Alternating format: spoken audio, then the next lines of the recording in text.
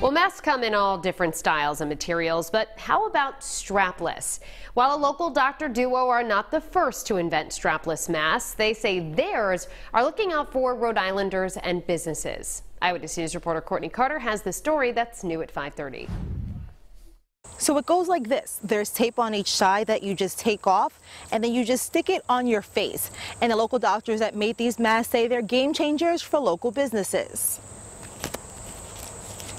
Dr. Aaron Singh, a retired Rhode Island surgeon, says masks are going to be around for a while. So his thought, you might as well make them more comfortable. Masks will be a part of our daily suit, our daily dress. I've been wearing a mask for more than 50 years. I'm a heart surgeon, so I started wearing a mask in medical school in 60s.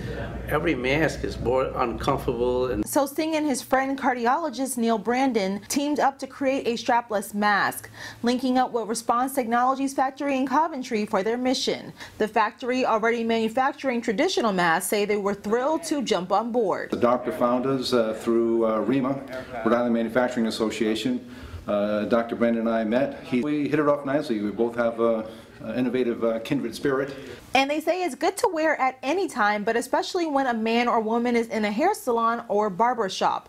Brandon says they have already sold many to local salons, but there is one loophole for these masks. You can't have facial hair. You, you can't have a uh, you can't have a beard, uh, but they'll they'll last for days.